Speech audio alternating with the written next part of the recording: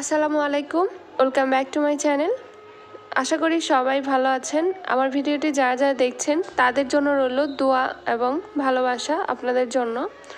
আর আপনারা সবাই অনেক সুন্দর সুন্দর কমেন্ট করছেন, সেজন্য অনেক ধন্যবাদ আপনাদেরকে। তো আজকের আরও একটু নতুন ভিডিও শুরু করেছি। সকাল থেকে সকালের নাস্তাটা করা হয়ে গিয়েছে।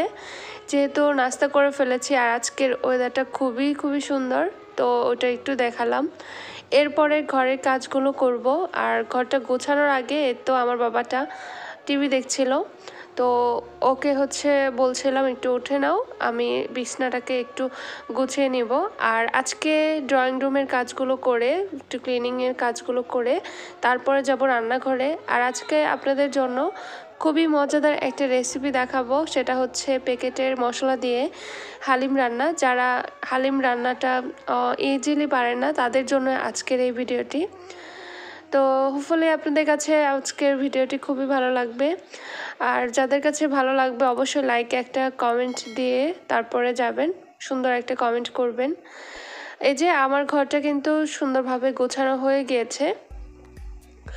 আর চলে এসেছি আমার হচ্ছে ড্রয়িং রুমে তো দেখতে পাচ্ছেন মাটির একটা কলস কিনেছি আমি মানে এটা কলসি। কলসি বলতে গেলে এটার মধ্যে হচ্ছে নাম বলে এটার জগ তো এটার মধ্যে পানি রেখেছি। প্রচণ্ড পরিমাণে গরম পড়েছে। এই গরমের মধ্যে এখানে পানি রেখে খাচ্ছি, অনেকটাই ঠান্ডা লাগছে। আর প্রচুর পরিমাণে ময়লা আসে, এজন্যই কিন্তু সবগুলোকে আবার নতুন করে সুন্দর করে ঢেকে রাখার চেষ্টা করছি। কারণ হচ্ছে প্রতিদিনই তো মোছাই হয়। দেখা গেছে তারপরেও অনেকটাই ময়লা হয়ে যায়। আর আপনাদের জন্য নতুন নতুন একটা ভিডিও নিয়ে আসব। আমার রান্নাঘরের নতুন নিউ লোক দিচ্ছি। তো সেটা একটু কাজকর্ম চলছে।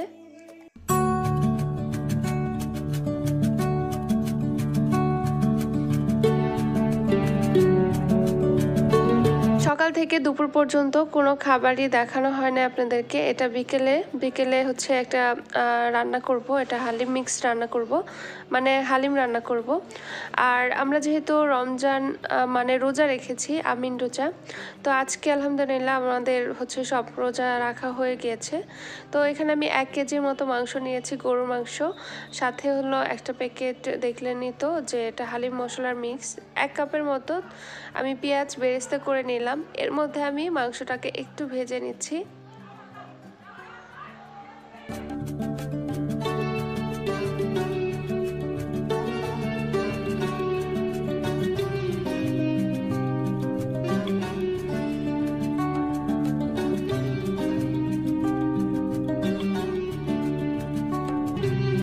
হালিম মিক্সের প্যাকেটের মধ্যে দুইটা প্যাকেট থাকে, তো তার মধ্যে থেকে মশলা থেকে আমি তিন টেবিল চামচের মতো মশলা নিয়ে নিব।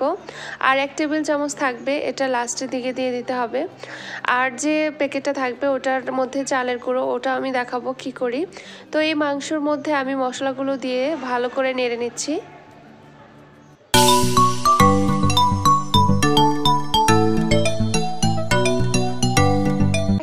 এক জন্য সাধারণত এক কেজি মাংসই হলে হয়ে যায়।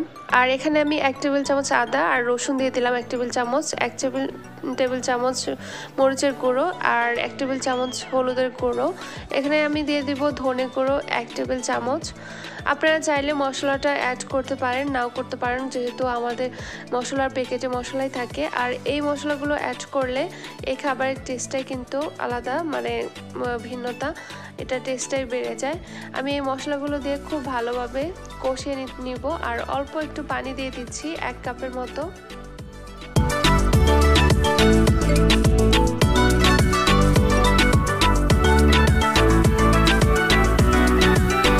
মিক্সের প্যাকেটটা যে থাকে, তো সেটা আমি গুলিয়ে নিচ্ছি। এক ঘণ্টার জন্য আমি এটা রেখে দেবো রেস্টে এটা ফলে কিন্তু একদমই পানির সঙ্গে ভালোভাবে মিশে যাবে।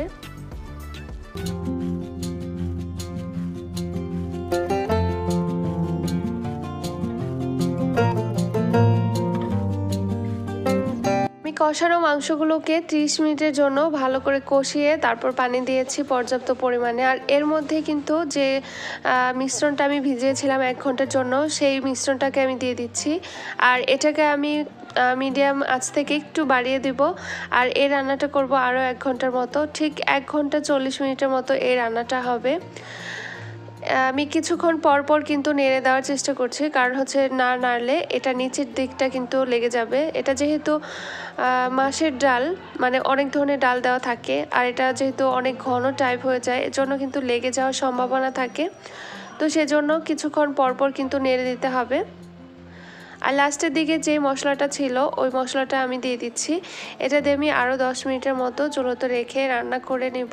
হালিমটা পরিবেশন করার জন্য কিছু পেঁয়াজ আমি বেরেস্তা করে নিয়েছিলাম।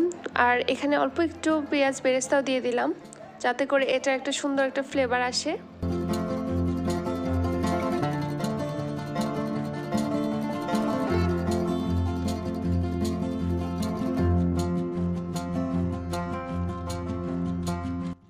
আর গরম গরম হালিমটা আমি এখানে মাটির হাঁড়িতে ঢেলে নিচ্ছি। এটার মধ্যে খুবই গরম থাকবে। আর বাচ্চাদের জন্য বেড়ে নেব। আমাদের জন্য কিছু পেঁয়াজও আর হচ্ছে আলু চপ করা হয়েছে। যেহেতু রমজান চলে গিয়েছে, তারপরে এখনও আবার আমাদের মানে ইফতার করতে হয়। আজকে হঠাৎ করে বানিয়ে নিলাম।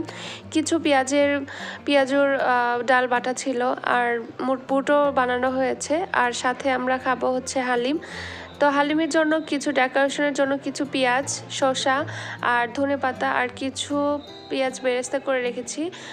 সাথে আছে লেবুর স্লাইস এগুলো দিয়েই আজকের রেসিপিটা মানে সাজিয়ে নিচ্ছি। সাজানো, গোছানো যে কোনো খাবার দেখলেই কিন্তু ভীষণ ভালো লাগে আর এভাবে খাবার পরিবেশন করতে তো ভালোই লাগে আমরা।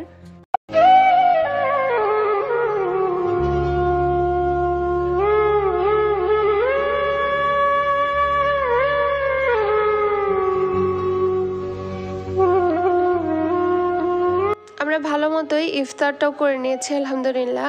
আর চলে এসেছি কিচেন রুমে আপনাদের অনেকেরই রিকোয়েস্ট ছিল আমার কিচেন রুমের যে র্যাকটা রেখেছি, এটা কীভাবে অর্গানাইজ করেছি, উপরের দিকটাতে কিছু ঢাকনা দিয়ে সাজিয়েছি।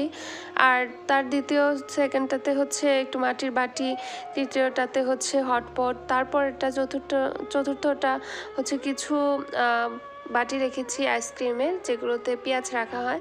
তো এই হলো আমার র্যাকটা। আপনাদেরকে দেখিয়ে দিলাম, ওর উপরে হচ্ছে কিছু কড়াই। তো আজকে এ পর্যন্তই। সবাইকে ধন্যবাদ জানাচ্ছি। আল্লাহ হাফেজ।